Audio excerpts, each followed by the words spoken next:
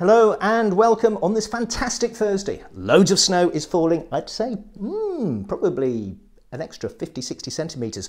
We'll find out exactly how much has fallen today, tomorrow when I'll be up the mountain, so do stay tuned for that.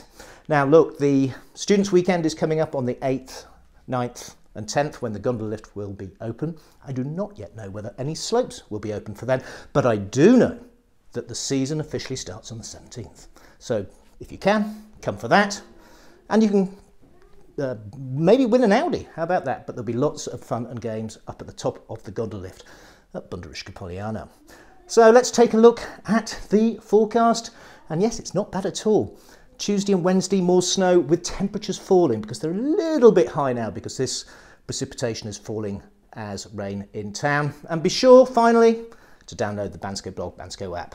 That's all from me. Have a great day.